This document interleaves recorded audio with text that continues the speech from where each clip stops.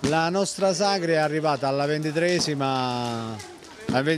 anno, contando i due anni di pandemia sono 25 anni che esiste, diciamo che è in corso la nostra sagra. La sagra noi facciamo la raccolta castagneti, nei nostri castagneti quando ce la facciamo, se no poi andiamo fuori a prendere le castagne.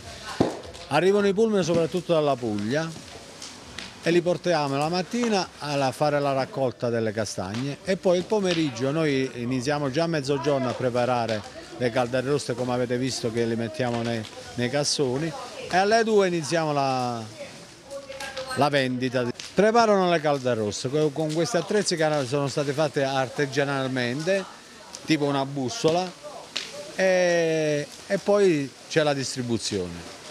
Nella zona nostra sono inserta e poi a Monnarella, una castagna più piccolina. Il paese di Trecchina prima viveva con la castagna, si può fare di tutto, castagnaccio, polenta, farina, eh, dolci.